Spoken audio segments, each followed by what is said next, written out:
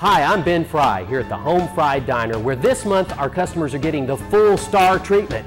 That's why I made up these fancy hors d'oeuvres.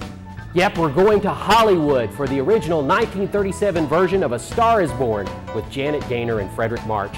This is about a young girl who rises to fame while her husband falls just as quickly. You know, I've been watching those cooking shows on TV, and I think I might have a shot at making it in Hollywood.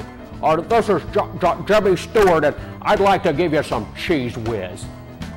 What do you think? I'll keep working on it. Just be sure to join me for a Star is Born here at Home Fryed Movies, only on University Television.